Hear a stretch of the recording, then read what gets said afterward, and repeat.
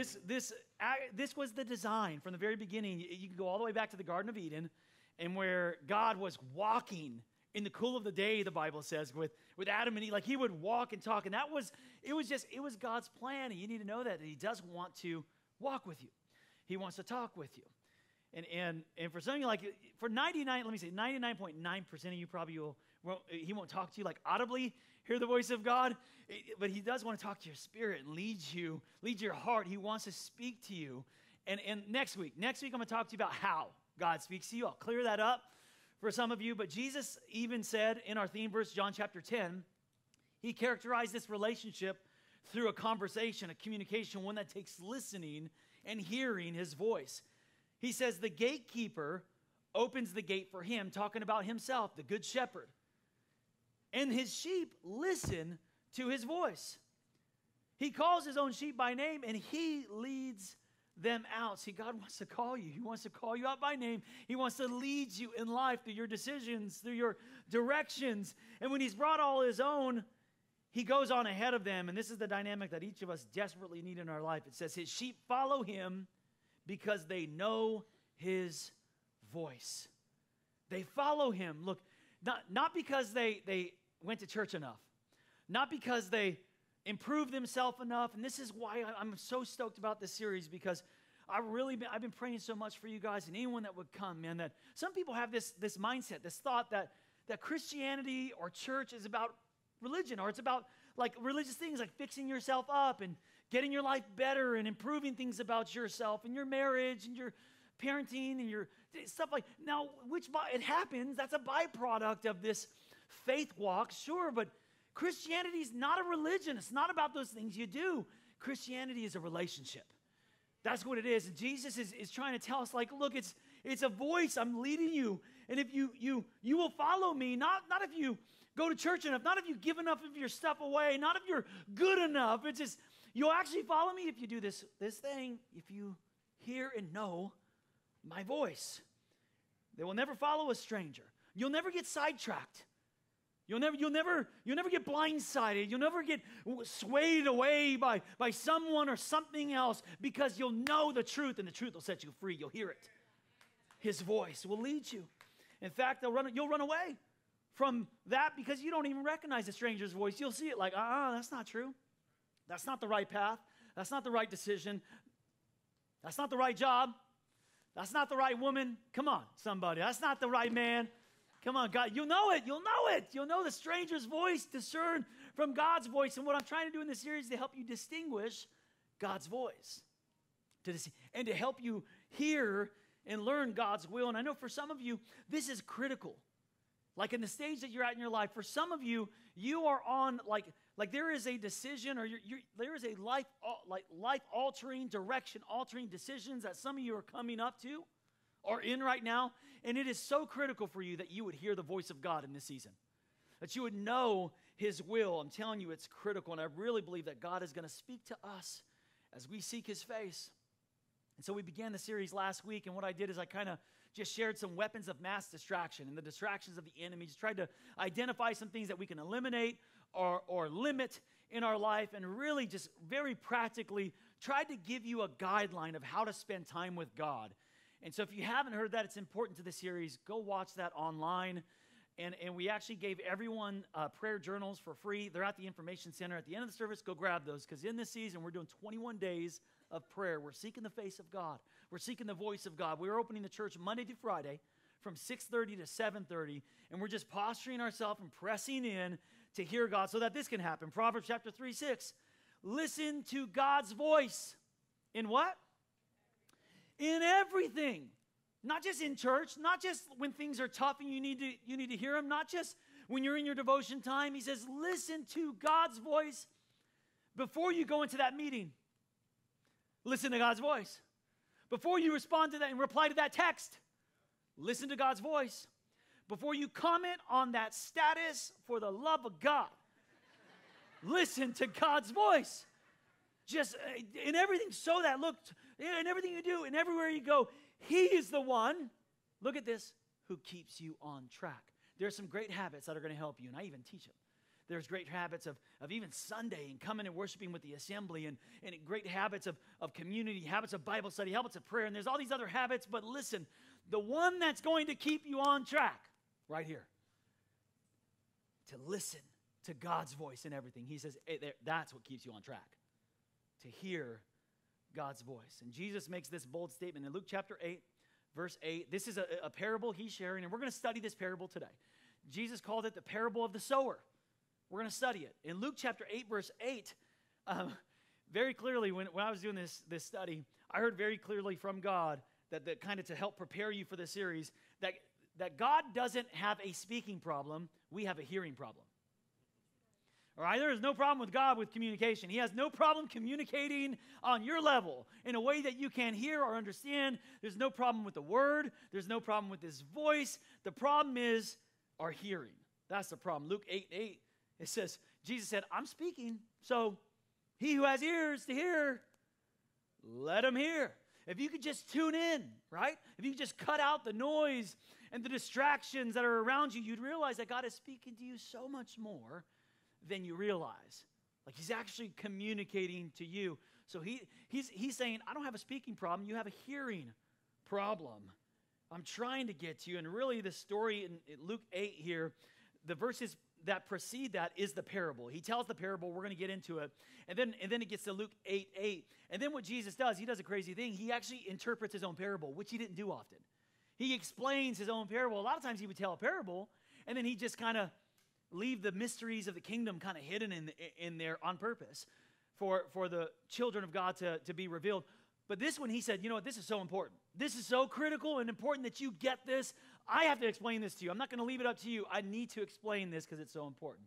Let's study this parable. We're going to back up to verse 5 in your notes and up here on the screen. Jesus says, A farmer went out to sow his seed, and as he was scattering the seeds, some fell along the path and it was trampled on. It's important for you to remember. It was trampled on, and birds ate it up. All right, that's the first scenario. Here's, here's the next scenario. It said some fell on rocky ground, and when it came up, the plants withered because they had no moisture. So there were some rocks in the soil. There were some competing things to the seed's growth. Here's the third scenario. Other seed fell among thorns, which grew up with it and choked out the plants. In one translation, it actually says that it grew up with weeds. There was something else, you know, smothering it out. Still, finally, other seed fell on good soil. It came up and yielded a crop because it had a good place to land a hundred times more than it was sown. And then we get to this verse that we read. When he said this, he called out, He who has ears to hear, let, let them hear. It's not that God isn't speaking, it's just not landing on good soil. That's, that's the real problem here. So, the verses following, Jesus explains the parable. Let's see what he says in verse 11. This is the meaning of the parable the seed is the voice of God. The seed is the word of God, to which some people would say, well, that's the Bible. That's the word of God. Well, they didn't have the Bible back then. Didn't they? They had the Torah, sure. And yes, the word of God is the Bible. It is.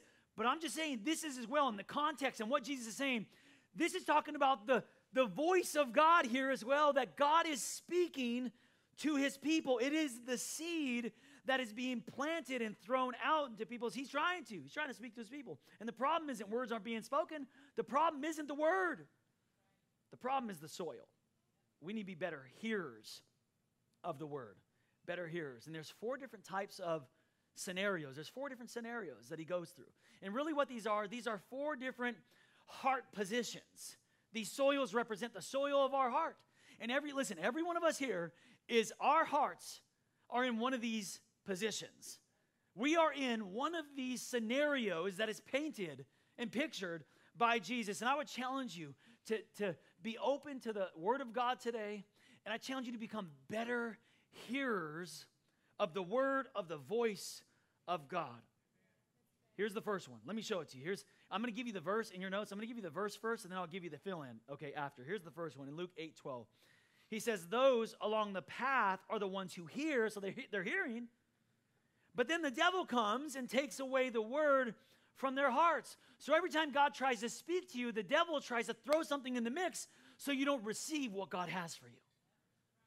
So that they might not believe and be saved, is what the Bible says. Write this down if you're taking notes. Number one, the first heart soil, the first scenario, the polluted heart.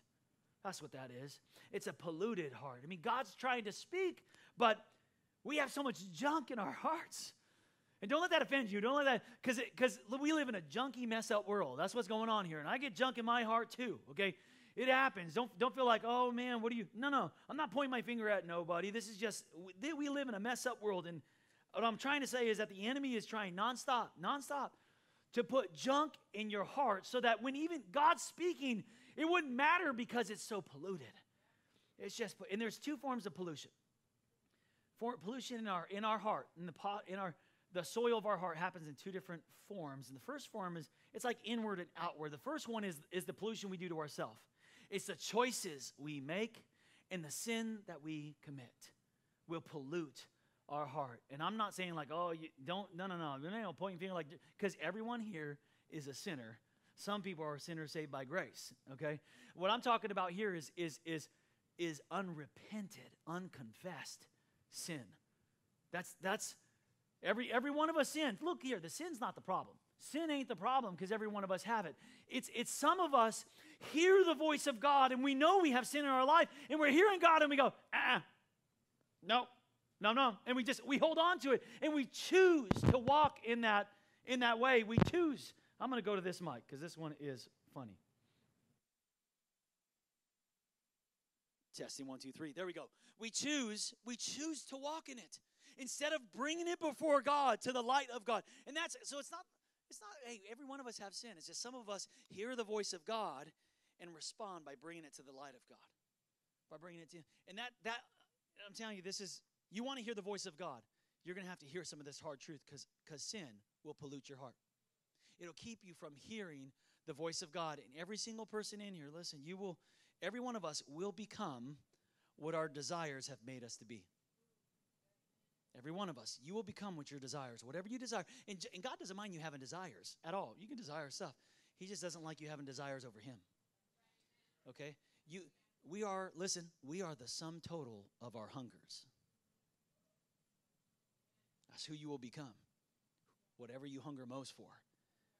And so, if you want to posture yourself to hear from God, you just have to know when you hear that voice and you ignore it, it stays on the surface, and the devil comes and plucks the revelation. He plucks the truth. He plucks that seed so it doesn't produce harvest in your life. So, that's the first way that it comes from. You just need to know, guys, and I do too, that when God speaks, we need to bring stuff to the light. The second form it comes to is not really what we choose, it's what other people are doing, it's what people do to us. It's like every time we try to get close to God, the devil stirs up some relational problem, right? Doesn't that happen? a lot of times, what he'll do is he'll attack the closest relationships. He'll attack the relationship with your spouse, or in your family, or in your kids, or someone you care about. And, and listen, the, he didn't. The devil's not trying to stir up strife in that relationship just to mess with you guys in that relationship.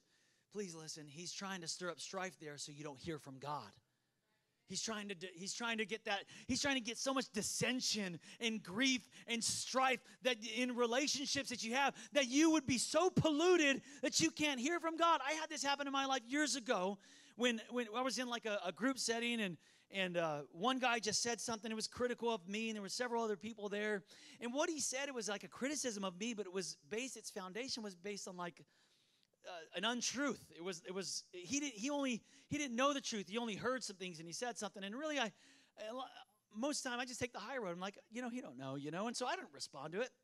I'm just like he just he doesn't know. God's God knows, you know, it's okay. Not that big of a deal. The next morning, and I'm in my prayer time, and I'm about to turn on some worship. That thought comes to my mind of what that guy said. And it was just a thought. It was just like a, like a second. But then a moment later, I look up at the clock and 10 minutes pass by. How many of you ever got stuck like that, just thinking about that issue? And I thought to myself, oh my, that affected me so much more than I realized that got into my heart. It's affecting my time with God, even that I can hear from Him. I, I, I called him, you know, after my my my devo- it was too early. I called him later on in the morning. I said, "Hey, bro, how's it going?" Yeah, I said, "Hey, you know what? This when we were together and this and you said this, it really like it affected me. It got to my heart. And I just wanted to to tell you that, man, and and to let you know that what. And I kind of let him know the foundation and where he was, you know, what he had heard. He said, "You know, I'm so sorry, Pastor Jason. I respect you so much. I didn't mean to. I hear you, man, and, and thank you so much for calling. It was it was such a great conversation. I hung up the phone and I felt so much lighter. How many of you ever know what I'm talking about? Just like when you when you you brush something off and, so, and just like ugh, just stays with you and it's a burden to you. But when you handle that, you handle it, and you handle it the way God wants you, you just feel free and light. And I could even hear from God even more. And, and why? Because I did what God said to do. God says in Matthew 18, He says, you, you when you come to my altar and you try to worship me, and you got an offense against someone, get out my face jesus said. Don't even don't even try. Don't even try just because you can't receive anything that i got for you anyway. You got all that stuff and pollution. Go handle that. Go reconcile that over there and come back to the altar because now i can speak to you to where you can understand. Amen somebody? So we have this pollution going on, whether it's, whether it's the choices we make or the things on the outside that will affect the seed, the voice of God planting on fertile soil. This is what James says in chapter 1, verse 21. Get rid of it. Get rid of all the filth and evil in our lives and just watch what happens next. And then we'll be able to humbly accept the message, the voice, the word that God has planted in our hearts.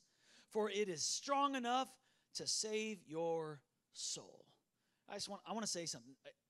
One of the most powerful words in the entire Bible, one of the most beautiful words in the entire Bible is something that has got a bad rap and almost has a religious undertone, but we I'm trying to redeem this word because it's so beautiful and meaningful. It's the word repent. And that's not like repent, you dirty sinners. No, no, no. That's not, you ain't gonna hear that here, man. That ain't happening, dude. That word repent, honestly, what that word just means is, is that we're heading in this direction. Repent just means to change your direction. That's all. It's a beautiful picture of what it means to listen, to hear God and respond to His voice. If you're taking extra notes, write this down. We can't begin a new life until we turn from the old. Can't. Do you want to hear from God? Do you really want to hear from God? Then we got some of us, this is just where we're at. This might be where you're at, just this, this soil of a polluted heart. There may be some things whether we chose or other people chose and we allowing it to pollute the voice of God. And if maybe that's not, for some of you, that's not the soil condition. That's not where you're at. Let's look at the second condition, the second scenario Jesus has for us in Luke 8 13. The rocky soil represents those who hear the message with joy. So they're hearing again, they're hearing his word, but watch this. But like young plants in such soil, their roots don't go very deep. They believe for a while, but they wilt when the hot winds of testing blow. So it's because something else competed with it. There were rocks in the soil. And I've done this one too. I've done where you hear a message and you're like, oh, it was the greatest message I've ever heard. I know that happens every Sunday for you guys, but when you guys leave here and you're like, oh, that was a good word, man, good word. It challenges you. And you go out here and something happens and it's like, it's out the window. It's like you never even heard the word. It's like you never even got the revelation. Why does that happen? Why? What happened there? You want to know why? The second soil condition. That's why. I'm calling it a distracted heart. That's what happened. There were just things that were competing. There were just rocks and things competing with the word and the voice of God. Distra- I talked about this last week. I'm not going to belabor this point too much, but distractions can come in many forms. They can distractions can even be good things in our life. It's just it has your attention, and for a lot of us, we're not hearing from God because something or someone else has got our attention. We're not able to hear from God. It's like you're in a in, in, the mall during Black Friday or something. You're trying to talk across the mall. It's like, what? What'd you say? What? You can't hear a thing because of all the just competing voices. So the technology and and and we talked about that last week, but I did it. I was doing some more research. Kids between 8 and 18, listen to this, parents, 8 and 18 years of age are spending eight hours on internet, on their devices. Eight hours. How in the world are you going to hear from God with eight hours of internet, let alone do your homework? Come on, parent. Come on, man. Take that thing away. Come on, mom. Come on, dad. That's a different message. The distracted heart. I, I just, I think all of hell, listen, all of hell is trying to get us distracted from what God wants to say to us. It's trying to distract us from God. And it could, it could be something not good. It could be something that is good. It's just distracting. One of the stories that depict this very well in the Bible is the story of where Jesus went over to these two sisters' house, Mary and Martha.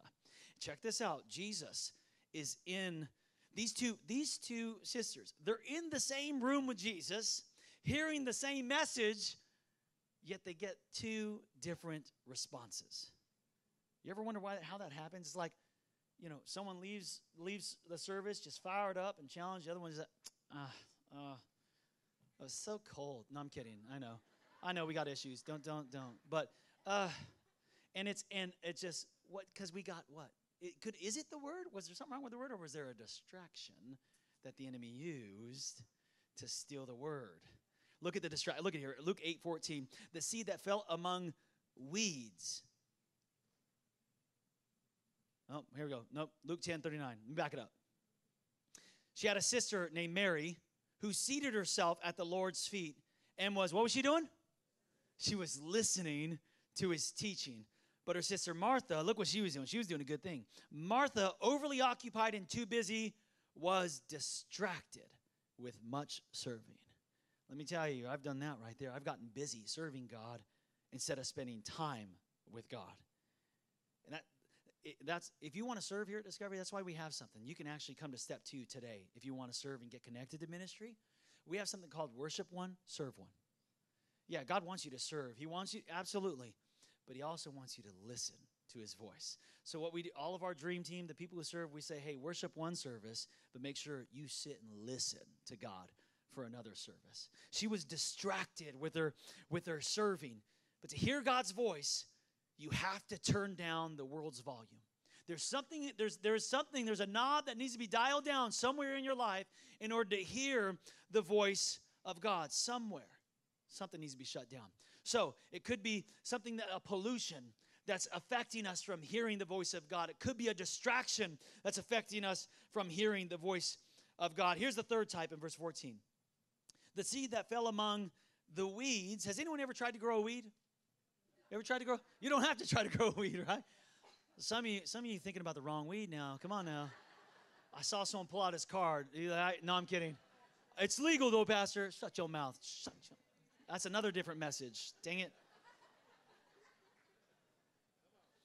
Right? You don't have okay, you don't have to try to grow a weed. They grow all by themselves, right? What when you see weeds all over like someone's house and in their garden, it's what does that speak to when you see a house like that? You want to know? It speaks to one word neglect. Neglect. I'm just not that. I'm not going to take care of it anymore.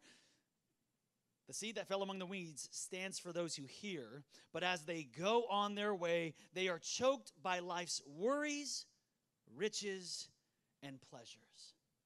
Life's worries, riches, and pleasures, and they don't say that word out loud, and they don't they don't mature. Here's the third one the immature heart the immature heart. It's the I'm saved and I'm fine where I am today in my walk with Jesus. I'm okay. I am I'm, fine with that. I'm good. And God is saying, You might be saved, but I want you to grow up a little bit. You might be saved, you might be going to heaven, but I want you to mature because I have so much more than you can even comprehend right now. Man, it's time for some of you to go a little bit deeper with God. It's time for some of you to, to, to have a different kind of relationship with God the Father. Veronica and I have, have um, a mature relationship. We have great conversations all the time, deep conversations. We talk about our faith and our future. We talk about our finances. We talk about our family. I don't know why they all begin with F, but we have all kinds. It's an addiction. I don't know, but we have all. We have just sophisticated conver- about our dreams and our hopes and what God is doing and what we're seeing and sensing and just our kids. And we just, it's a sophisticated, mature conversation. You want to know why? Because we are two mature adults. But my kids, when they were younger, my kids are older now. My, my oldest is 14, Grace. When she was a little, you know, baby, I was one of those parents. I don't know about you guys, but I did the baby talc all. I, I that last service, I walked down the aisle and there was a baby like, and I'm just like, hey, dude, what's up, baby? Do how do? I'm just trying to get a smile at the kid. If I get the smile, I win. There it is. So I, my girls, I would. who's my baby girl? Da, da, da, da, da. Come, come, da, da, come, Dada. And when they say Dada before mama, winning, winning. And it's just exciting. It's just, so they come, come, can you? Yeah, yeah, da. And it's just this, having you know that I could have talked more sophisticated to my daughter, but she was not mature enough to handle it. How many you know where I'm going here? Amen? But here's the point some of you are dissatisfied with the level of communication that you have or God has with you. Maybe you just need to grow up. God wants to speak to you so much more than you want to hear from Him. And, and, and I, I just, I love seeing my kids grow up to the age they're at right now. And there, there would be times and stages of their life where I would try to speak wisdom and knowledge, and it would just be like, I mean, you know what I'm talking about? There were just seasons in their life where it's just like, I'm just beating against a dead horse right now. It's just, but I would, I would so like, man, I want them to receive this. And and now that my kids are older, I'm able to go deeper. And even just recently, my daughter went to youth camp. She's 14. She came back. She had amazing experience and encounter with God. So much revelation and insight with God, with others. And it was beautiful. The type of interaction I was able to have with my daughter, my heart was so happy to go to that level of maturity and depth with my girl. Can I tell you something? That God is so desperate to go to a deeper level of communication with you that goes beyond oocha poopa doo doo. Poopa da da da da. No, no, no, no, don't, don't, no, no, don't go that way. Yeah, yeah. God wants, God is so desperate to have more mature conversation with you. So, how do you mature? Bible tells us in Hebrews chapter 12. Since we are surrounded by so many examples of faith, so dig into dig into the study of the examples of faith in the Word of God. There are examples of faith around you, people that can disciple you. I mean, you're surrounded. We got to get rid of everything that slows us down, especially the sin that distracts us. We must run the race that lies ahead of us and never give up. We must focus on Jesus. Man, when is the last time you took a spiritual inventory and just said, you know what? I need to go to another level. You know what, God? You have more for me. You have more from me, God. I'm not, God, I need to dig in. I need to press in further. There is more. Man, I'm going to get into that 21 day of prayer thing in the morning. Oh, that's early, Pastor. I'm with you in spirit, Pastor. I'm praying in the home. Someone told me that last week, week, week. Someone told me that last week. I'm praying, I'm praying. Yeah, I look, I don't like it either. I hate it. I'm, an, I'm a morning person too. I, I like to get up, but make me get in the shower, get dressed, and get around people. That's different, right? Right? But but I do it. Why? Because that's what mature people do. Okay, okay, God wants this. Now, don't take offense to that. Of you like can't get there, your work, whatever it is, and stuff like that. No, I, I don't take offense to that. I'm just saying, look, God wants to have a deeper communication experience with you that goes beyond baby talk. He wants to have sophisticated, mature relationship with you. Hebrews chapter 12 again. Let me let me highlight some words here because there's a, there's a secret to how you get there. Look at these words I highlighted. Since we are surrounded, we must get rid of everything that slows us down, especially the, the sin that distracts us. We must run ahead of us. Never give up. We must focus. In other words, the maturity process can't happen without an us.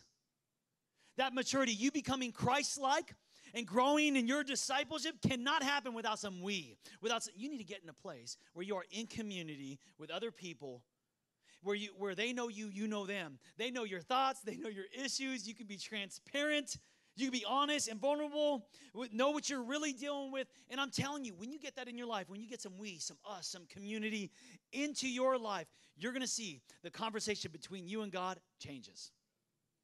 It changes, it matures, it goes to a whole new level. And I'm so excited. Season three of small groups are coming up. We, we take breaks every year, but we're about to get ready to jump into it. You'll see a lot of them come up. They begin September 2nd. They go all the way to December 2nd. Okay? So it's, it's, I get connected. Some of you need to get connected to a group. Group link is August 26th at 7 p.m. That's a Sunday. If you want to see the, the group leaders face to face, because we have it listed online, got pamphlets and all that stuff. But if you want to see them face to face, you can even come to group link on August 26th. And some of you haven't yet, and you need to jump in. Man, it's time for you to grow up. It's time for you to, to mature up in the things of God. Some of you, you need to be leading a group already. Uh, you know, you've been in Christ, you've been walking it, you know the word, and you're allowing some things to keep you. And it's time to do an inventory. Say, you know what? There is another level. There is more that God has for me. You want to hear God, but Jesus says some of you don't hear because you don't mature. Let me be very honest with you. Maturity comes when we stop making excuses and we start making changes. That's when maturity comes.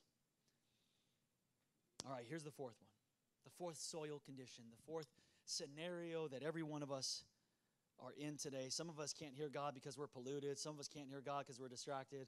Some of us can't hear God because because all that stuff going on. Here's the last one. Write it down. Number four, the prepared heart. The prepared heart. Luke 8 15 says this. But the seed on good soil stand, stands for those with a noble and good heart who hear the word, retain it, and by persevering, produce a crop. It's those who have just taken a spiritual inventory, have identified some rocks, some things, some distractions, some pollutions, and who have brought them, got them, brought them to the light of Christ, who have tilled the soil of their heart enough to prepare their heart. God's voice is clearest in a prepared environment. In a prepared environment. Let me illustrate this. There were several months ago, we moved, uh, the family, we moved from one house to, to another. And there was a side, on the side of our house, Veronica's gonna be so embarrassed. Don't be embarrassed, but the side of our house, there was a little strip, a, uh, and it's like a worthless strip. It's just, how many of you know what I'm talking about? It's like, why did they leave a strip of nothing? They can't do anything. It's not big enough to play. It's not, you can't put toys over there. The sprinklers are jacked up. It's always soggy over there and stuff. So it just became the catch-all for all my bro- broken stuff and junk. Over years, it just piled up, and so we got to move, and I'm like, I gotta gotta get rid of this stuff, and I put it off so long. Veronica's like, you need to get rid of that. So I, I'm loading it all up, and there's just so much. Na- it's nasty, and and underneath all the nasty junk, in this moist, moldy ground, it was a blue tarp. Uh, it was all folded, and and I just knew uh, I was like, there's, uh, I'm, I do not want to get, because some of you know what I'm talking about. What's living and crawling underneath that thing. I don't like, I don't like crawlers. I don't like spiders. I don't like bugs. Don't, don't get me wrong. I kill them. I'll kill them and stuff. But I don't like them. And so I'm like, ah, ah, ah. I'm trying to get a stick and stuff. And I probably went back to that thing like three or four times. I ain't gonna lie. I called Grace. Grace, come help your dad out. You get that in. Come on, we do it together. And uh, I did scream once or twice. But but we flipped that thing over in the nasty, I mean, spiders and crawlers and creepy stuff that was that was under there. I left it. I left it unturned for so long, and all kinds of creepy crawlers and bugs and mold and that lurked underneath. They were growing and multiplying and inviting all their friends, going, "Come on, this place is great." You know, come and listen. I didn't need to personally invite any of those bugs to come live in my yard. They all, all I had to do was create an environment conducive for them and they just invited themselves. The environment I prepared, listen, was the invitation. See, some of you, the, the, the soil of your heart, the, the environment you have created in your heart is attracting the wrong things. I know you didn't invite that disaster. Some of you are attracting the wrong people, the wrong relationships, the wrong habits, the wrong sin, the wrong spirits, because the environment of your heart, the soil of your heart, is attracting the creepy crawlers that lurk underneath the shade of darkness in the moist areas. But what would it look like if you just kind of just lifted that up and prepared that soil? I'm telling you, God would change your life if you prepared the soil of your heart, a prepared heart, God visits a prepared environment. You were meant for this. I'm telling you, you guys, you guys were meant for this. It was always intended to, to be this way. When I was praying um, about this series, and I was asking the Holy Spirit, help me. I want you, I want so badly for Discovery Church not to be a bunch of people that are on a religious journey do's and don'ts and church attendance and, and fixing themselves and then going and then not able to, but then trying hard and fixing themselves again. And, but to actually have a relationship, an intimate and personal relationship with a true and living God, powerful to save. When I was asking the Holy Spirit, how, God, how do I? He just said, prepare them. Prepare them to meet with me. So let me give you let me give you three words to prepare to hear God. Here they are. Number 1, repent. Repent. And it's not a bad word. If you're going the wrong direction today, don't sweat it. Just turn around. Can I say that again? If you're going the wrong direction today, don't sweat it. Just turn around. Our God is so gracious and merciful, will forgive and save every time. That's what makes him so good. He's the God of the do over, the God of the fresh start. Just turn. And then after that, after you just just turn around, second thing, refocus refocus. Like in this season, get your sights right, get your priorities right. You know, I'm going to get rid of some distractions in my life. I'm going to renew some some devotions in my life. I'm going to get back to reading the Bible. And listen, if you haven't been reading the Bible lately, don't sweat it. Just start tomorrow. If you haven't cracked open your Bible or your app or whatever it is, don't sweat it. Just just start tomorrow. Refocus. Someone told me you know, Pastor, I'm going to start reading my one year Bible again, but I'm, I'm in April. It's going to take me a long time to catch up. I said, no, no, no, man, don't do that to yourself. Just start today. Whatever the day is today, just start on that day, whatever devotion, and just, just re, repent, refocus. And number three, prepare for revival. Revive me, God. Awaken me, God. Stir me, God. I want to love, I want to fall in love with you all over again. See, you were you were made for this church. You were made to know God like this. To be led by him personally and intimately, not to just do it yourself, gut instinct style, to know the shepherd's voice. So much so that Jesus says this in John 8 47. Whoever is of God, what do they do? Hears the words of God. That's how you know that I'm in this personal and intimate relationship. He says the reason why you don't hear them is because you don't have a personal and intimate relationship with God. He says you're not hearing God because you don't know God. It's not a religion, it's not a bunch of rules. It's a relationship that He wants to have with you. And some of you know it. You've even responded to this. Like when you first got saved, it's because you heard the voice. You heard God speak into your life and call you by name. Revelations 3 and 20 talks about that. Jesus says, Here I am. I stand at the door and knock. And in the Greek, there, it's, it's the continuous verb. It means knocking continuously. That's what Jesus is saying. I stand at the door of your heart and I'm knocking.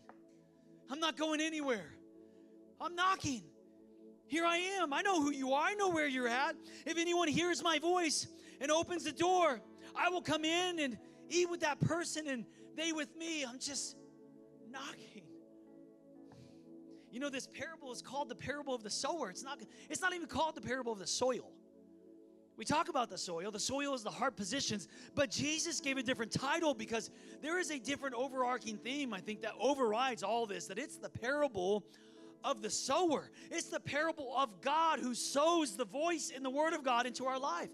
There is no farmer worth his weight in salt that would knowingly sow his harvest seed onto the path. That's ridiculous. No farmer who's got any ounce of wit in him would sow seed into rocky soil or to hard soil or, or among weeds. Are you kidding me? No, no good farmer would do that.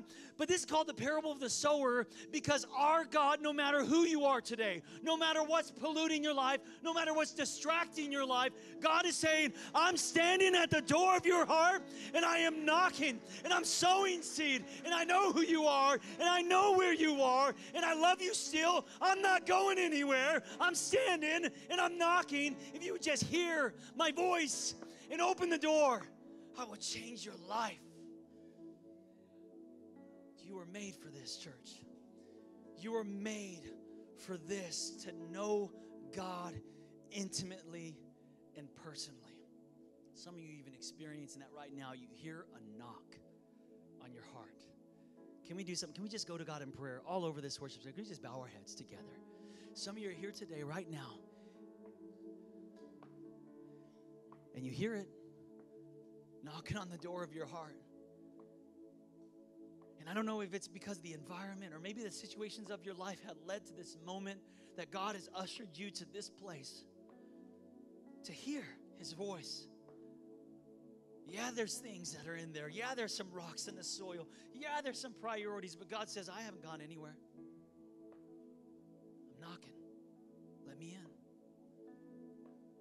Some of you used to have an open door relationship with God, but you've closed the door to Him. And today He's knocking again, saying, Come on, let me back in. Some of you ran from God so far, and you you didn't you thought you were running from God, but He didn't go anywhere. He stayed knocking, knocking on your heart. And right now, I believe right now you're hearing the knock of Jesus. And I want to encourage you to respond to the voice God. That's what that is. And open the door. Invite him into your life. The Bible says that if you confess with your mouth that Jesus is Lord, you believe in your heart that God raised him from the dead, then you will be saved. You'll get a fresh start, a do over today, restored. Here's the thing you can't prepare your own heart, you can't clean your own life, your own heart. You can't do that. It's only by inviting Jesus into your life that he can prepare the, your, the soil of your heart to be able to hear and respond clearly to a God who loves you, wants to walk with you, direct you, and lead you through life.